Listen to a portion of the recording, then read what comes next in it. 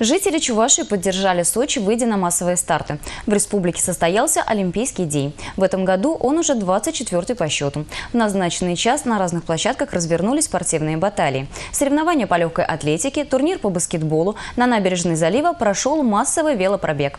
Побывал там и мой коллега Дмитрий Ковалев. Чувашия голосует за спорт. Олимпийский день собрал под своими флагами несколько сотен горожан. Кто-то сюда приехал с коллегами, кто-то с семьей. У пунктов проката на Чебоксарской набережной выстроились большие очереди. Велосипедистов столицы с каждым годом становится больше, отметил Михаил Игнатьев. 24-й Олимпийский день это только подтвердил. Каждый любитель спорта, каждый спортсмен желает стать чемпионом или чемпионом России – или чемпионом Европы, или чемпионом мира, но профессиональный спортсмен, спортсмен уже высшего класса, хочет победить на Олимпиаде.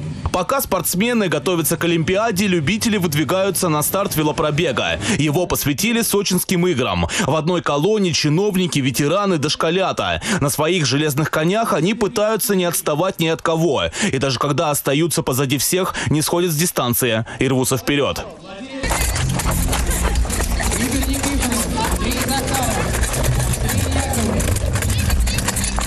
На старт вышли чувашские скороходы. Вместе с чемпионами и призерами соревнований дистанцию решили преодолеть самые обычные горожане. Забег поистине символический. 60 лет назад в республике появилась спортивная ходьба. Те, кто стоял у ее истоков и завоевывал первые медали, тоже вышли на старт.